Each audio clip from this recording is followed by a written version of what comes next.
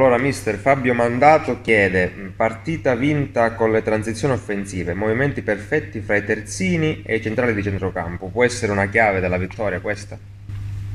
La chiave, vabbè, su queste situazioni ci stiamo lavorando da, da tempo, quindi la squadra sa, sa, qualsiasi modulo che va a incontrare, le contrapposizioni eh, e quindi su questo è un lavoro che stanno facendo, mi stanno seguendo i ragazzi mi aiuta molto lo staff, mi aiutano i ragazzi nel cercare di trovare in quei due giorni di lavoro la quadratura giusta, insomma.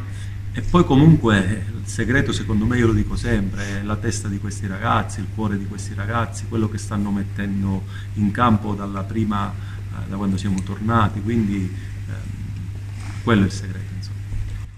Pippo Gatto dice, vittoria eroica, la differenza la fanno i quinti anche per lui, finché hanno benzina e questa è la chiave per, per questa partita. Complimenti. Ora otto giorni di riposo e poi una grande battaglia col Pisa.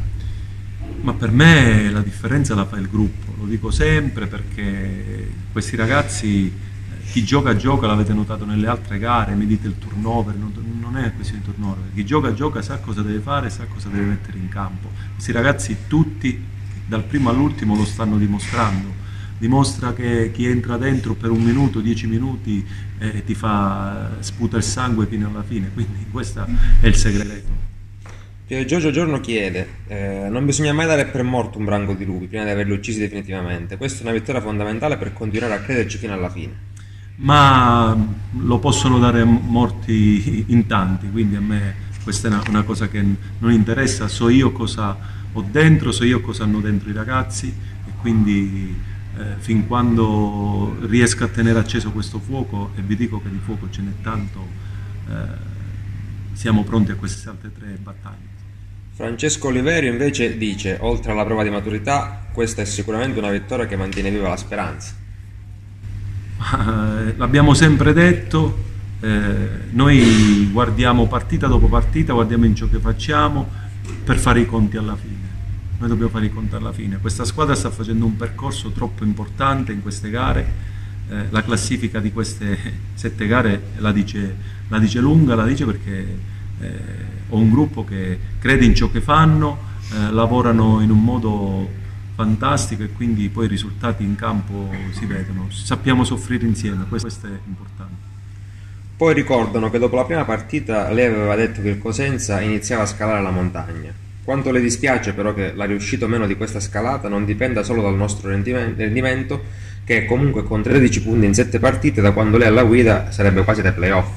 E facciamo i conti alla fine, questo dico soltanto pure perché abbiamo una gara troppo importante, il Pisa, un'altra squadra fortissima e dobbiamo prepararla bene con la testa, eh, con i mezzi che abbiamo a livello, eh, a livello tecnico, a livello tattico e soprattutto con tanto cuore.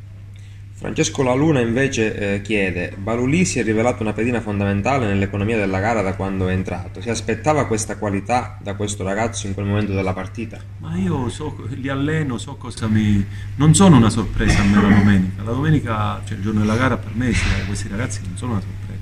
Quando vedi attaccanti che rincorrono dal primo all'ultimo minuto eh, i giocatori avversari, cioè, hai già vinto, quindi eh, fondamentale questo. Io ho la fortuna di allenare questi ragazzi che hanno davvero tanto fuoco dentro e davvero mi mettono in una difficoltà enorme quando devo fare le scelte. Che quando vai a scegliere su ragazzi che durante la settimana danno l'anima e meritano tutti di essere in campo non è facile.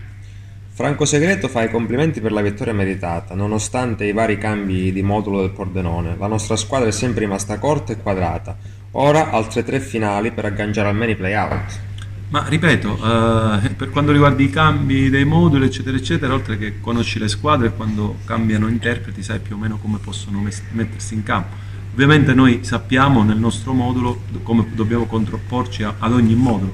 Quindi poi ho la fortuna di avere in campo giocatori importanti, giocatori che tanti sono allenatori in campo e mi danno anche una mano. Ho la fortuna di avere uno staff importante e mi dà una grossa mano, quindi questo già per me è tanto.